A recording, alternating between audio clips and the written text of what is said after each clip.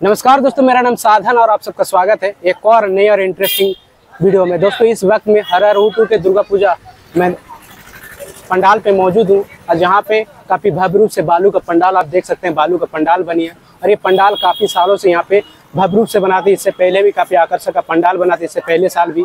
और इस साल भी बालू का पंडाल लोगों को काफ़ी मनमोहित कर रहा है, काफ़ी शानदार और काफ़ी आकर्षित लग रहे लोग दोस्तों, यहाँ पे जमशेदपुर नहीं, जमशेदपुर के अलग अलग जगह से लोग आ रहे हैं। जमशेदपुर के सुदूर गाँव से लोग यहाँ पे देखने के लिए इस बालू से पंडाल। दोस्तों, आपको बता दें, जमशेदपुर के ये सबसे फ़ेमस पंडाल में से एक पंडाल है और ये पंडाल काफ़ी जमशेदपुर के लोगों को आकर्षित करे तो दोस्तों, चलिए यहाँ पे बालू से बने पंडाल को दिखाते हैं और जानकारी आप तक पहुँचाने की कोशिश करते हैं कि यहाँ के कमेटी मेंबर से बातचीत करेंगे और लोगों से बातचीत करके आप तक पहुँचाने की कोशिश करेंगे कि इस बालू के पंडाल में क्या खास है और कैसे बना है, क्या कुछ खास और क्या कुछ नया यहाँ पे देखने को मिलता है। और यहाँ का जो मूर्ति बना है, वो भी काफ़ी यूनिक बना है, वो भी आपको दिखाने की कोशिश करेंगे। तो चलिए अंदर चलते हैं, चल के आपको दिखाते हैं। श्री श्री सार्वजनिक दुर्गा पूजा कमेटी हवर गुटू काली मंदिर, इस कमेटी का नाम है। और वर्ष 1966 से यह पूजा होता आ रहा है। मेरा नाम अभिषेक कुमार है।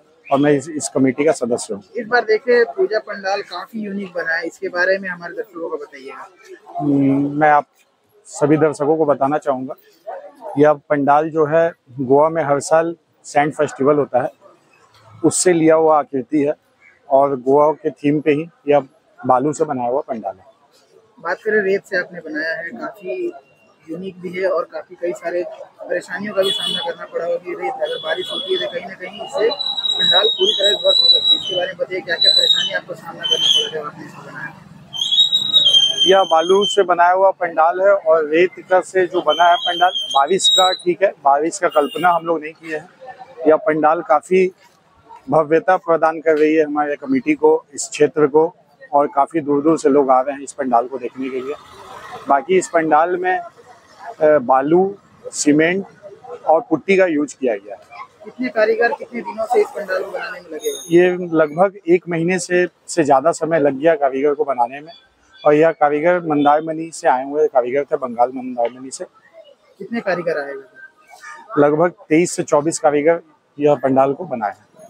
बात करें मूर्ति की तो मूर्ति भी काफ़ी सुंदर और भव्य दिख रही है। प्रतिमा के बारे में मूर्ति हमारा हर साल बंगाल के कारीगर आते हैं जिनका नाम देबूदा है। देबूदास नाम है उनका। वो हर साल 1966 से वो आ रहे थे उनके उनके बेटे आ रहे थे। यही देबूदा 1966 से हमारे मूर्ति बनाते आए हैं और हर साल वही आते हैं। वर्षों से आप लोग लगातार यहाँ पे पूजा कर रहे हैं। उन्नीस सौ छियासठ से यह पूजा होता आ रहा है। पहले जगह इसमें बदला है। पहले हवेगुटू बाज़ार पे होता था। धीरे धीरे जगह जैसे जैसे लोग का अतिक्रमण होता चला गया या पंडाल अब पूरी तरीके से यहाँ स्थापित हो चुका है। सीमंतो खटुआ। कहाँ के रहने वाले कंटाई। बात करें यहाँ पे आपने काफ़ी सुंदर पंडाल बनाया इसके बारे में बताइए क्या बनाया आपने यहाँ पे? यहाँ बालू का पंडाल है गोवा का सीन है। इससे पहले इस आकृति को आपने कहाँ बनाया था ऐसा? कभी कभी बनाया था? वो पहले छोटा मोटा में टेस्ट किए थे। आज यहाँ पे काफ़ी बड़ा भव्य बना कितना हाँ। लगा आपको बनाने में? यहाँ पर लग गया एक महीना बाईस दिन। एक महीना बाईस दिन से आप यहाँ पे लगातार हाँ। कर रहे हैं। तो पूरा पंडाल जो है बात करें किस किस चीज़ों से बनाया है आपने? और इसमें बोरा है बाँस का पटरी है और सीमेंट है बालू है पेंट है। कितने लोग मिलकर के आपने इस यहाँ पर पच्चीस आदमी। पच्चीस आदमी हर साल आप जमशेदपुर आते हैं? हाँ हर साल जमशेदपुर आते हैं मनभूमि में काम किए हैं। बात करें पंडाल की तो क्या क्या समस्या आई होगी जब आपने रेत से इसे बनाना शुरू किया? क्या क्या प्रॉब्लम आपको हुआ होगा बनाने के लिए? रेत है। प्रॉब्लम ऐसा कुछ नहीं है। कुछ नहीं है। अभी लोग आ रहे हैं लोग कैसा बोल रहे हैं? पंडाल देखने के बाद क्या कर तो उम्मीद तो पब्लिक का है ना? उम्मीद पब्लिक का है। तारीफ़ कर रहे हैं। तारीफ़ करें कुछ भी करें वो तो पब्लिक का है। संदीप कुमार सिंह हुआ। ये हरगुट्टू काली मंदिर दुर्गा पूजा समिति का मैं सचिव हूँ। बात करें मूर्ति की काफ़ी सुंदर बना। मूर्ति के बारे में बताइए। ये जो मूर्ति है ये हौरंदा बंगाल के कारीगर के द्वारा पिछले डेढ़ महीने के समय के अंतराल में बनाया गया है। ये मूर्ति की खासियत है कि इसमें किसी भी प्रकार का वस्त्र यूज़ नहीं किया गया है। जो चम्मच हम लोग आइसक्रीम वगैरह में यूज़ करते हैं वो लकड़ी का उसी से पूरा मूर्ति का डिज़ाइन तैयार किया गया है। ये मूर्ति मतलब इसलिए भी और अनोखा है कि ये मूर्ति मतलब मेरे ख्याल से पूरे जमशेदपुर में ऐसा अनोखा मूर्ति आपको देखने के लिए नहीं मिलेगा। इसका जो हम लोग का जो थीम था थीम के हिसाब से हम लोग का रेत का पंडाल है, जो कि पूरा जमशेदपुर में अपने लिए अनोखा है, उसी के थीम के अनुसार से हम लोग मूर्ति भी ऐसा करना चाहते थे कि जो पूरे जमशेदपुर में एक अलग हो। हम लोग के ग्रामीण क्षेत्र में इस तरह का कलाकारी हम लोग, ये दुर्गा पूजा कमेटी पिछले कई वर्षों से करते आ रही है।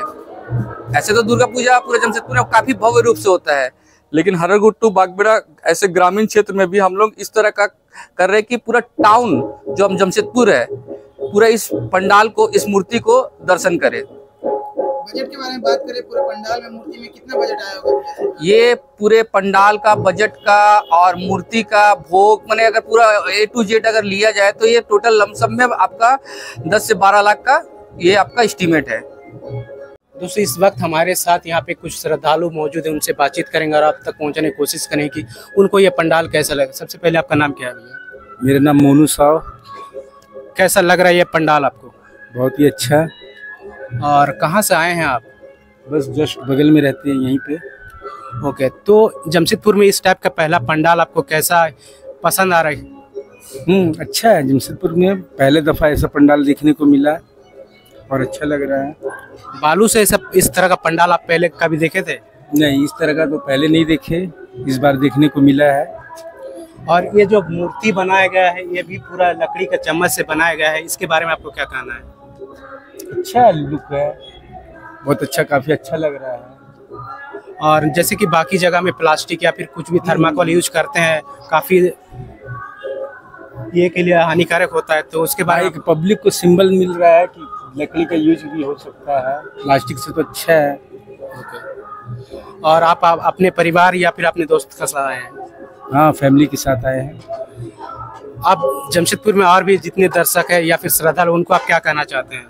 ये कि एक बार यहाँ पे आके देखें जो सिंबल दे रहा है ये पंडाल बागबेड़ा हरगुट्टू में। कुछ आगे का भविष्य में काम आएगा। रेत से बना हुआ है चम्मच से बना हुआ है। बाकी आप जमशेदपुर के कहाँ कहाँ पंडाल घूमे आप तक ये तो अभी हम फ़र्स्ट यहीं पे है बगल में रहते हैं अब इवनिंग में जाएँगे बाकी सब सारे सारी जगह इवनिंग में हम जाएँगे। तो अभी तक सबसे बेस्ट लगा ये पंडाल? हाँ यहाँ के लिए अभी बेस्ट है। अ, नहीं जमशेदपुर का कहना है कि ये सबसे बेस्ट पंडाल में से एक है टॉप में है। जमशेदपुर अभी हम पूरा घूमेंगे उसके बाद उसके बाद ही। तो दोस्तों आप समझ सकते हैं पब्लिक का रिएक्शन किस तरह से है। तो हम लोग पंडाल के अंदर मौजूद है और पंडाल के अंदर प्रतिमा जो देख रहे हैं ये काफ़ी आकर्षक बनी हुई है। और ये पंडा प्रतिमा में जो भी सामान यूज़ किया गया है ये सब चम्मच लकड़ी का चम्मच जो हम लोग यूज़ करते हैं नॉर्मल घर में या कहीं पे भी उससे बनाया गया है और काफ़ी आकर्षक लग रही है ये पंडाल के ये प्रतिमा जो काफ़ी लोगों को पसंद आ रहे हैं। यहाँ पे जमशेदपुर नहीं, जमशेदपुर के अलग अलग ज़िले से लोग आ रहे हैं और जमशेदपुर के अलग अलग गाँवों से लोग आ रहे हैं इस पंडाल को देखने के लिए। काफ़ी आकर्षक है। जमशेदपुर में इस तरह का पहला पंडाल है और पहला मूर्ति है जो आपको इस तरह को देखने को मिलेगा। तो इस मूर्ति में जितने भी कुछ सामान लगाया गया सब लकड़ी का बना हुआ है और काफ़ी लोग इसको पसंद कर रहे हैं। तो दोस्तों, आज के इस वीडियो को समाप्त करते हैं। वीडियो आपको कैसे लगी और पूजा पंडाल का ये वीडियो आप एपिसोड आप सबको कैसा लग रहा है, आप कहाँ से वीडियो देख रहे हैं, हमें ज़रूर बताइएगा। और इस पंडाल के बारे में आपको क्या राय है, हमें ज़रूर बताइएगा। मिलते हैं नई वीडियो के साथ, तब तक टेक केयर बाय बाय